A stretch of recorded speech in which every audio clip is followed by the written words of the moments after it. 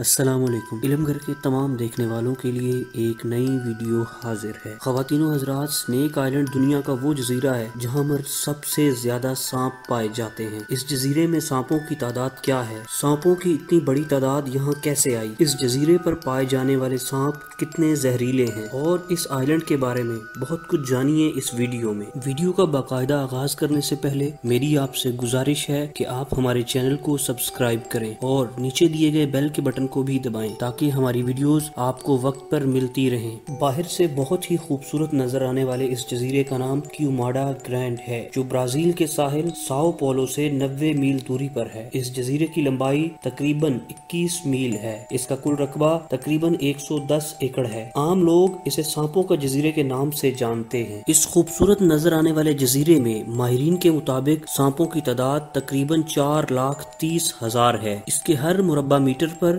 ایک سے پانچ سانپ موجود ہیں۔ سانپوں کی یہ تعداد اتنی زیادہ ہے کہ یہاں پر انسانوں کا رہنا بہت مشکل ہے۔ مقامی لوگوں کے مطابق اس جزیرے سے بہت سی کہانیاں جڑی ہیں۔ اس جزیرے پر آخری انسان انیس سو سے لے کے انیس سو بیس تک رہا، جو کہ لائٹ ہاؤس کی مرمت کے لیے یہاں پر موجود تھا۔ آپ کو بتاتے چلیں کہ اس جزیرے پر اونچی جگہ پر ایک لائٹ ہاؤس بنایا گیا تھا، جس کا مقصد بحری جہازوں کو راستہ دکھانا تھا۔ اور اس آخری انسان کے بارے میں مشہور ہے کہ ایک دن وہ لائٹ ہاؤس کی مرمت میں مصروف تھا کہ اچانک سانپوں نے حملہ کر دیا، اسے اور اس کے خاندان کو مار دیا۔ اس جزیرے سے جڑی ایک مشہور کہانی یہ بھی ہے کہ پرانے وقت میں سمندری ڈاکوؤں نے خزانے کی ایک بڑی تعداد یہاں لا کر چھپا دی اور خزانے کی حفاظت کے لیے سانپوں کو چھوڑ دیا۔ اس لیے آج تک یہ خزانہ کسی کو نہیں مل سکا۔ لیکن اب تک کسی مستند ادارے نے ان کہانیوں کی تصدیق نہیں کی۔ ماہرین کا خیال ہے، تقریباً گیارہ ہزار سال پہلے یہ بھی برازیل کا حصہ تھا۔ لوگوں نے جنگلات کو آگ لگا کر